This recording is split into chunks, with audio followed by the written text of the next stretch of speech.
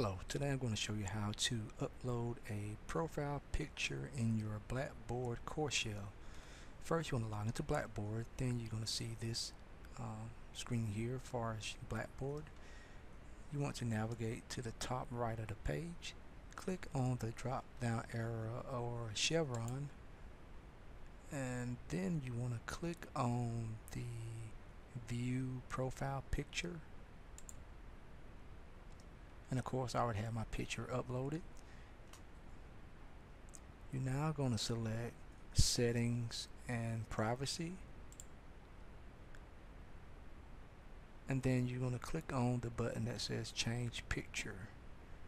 And we're going to click on that. Then you're going to click on the upload new um, button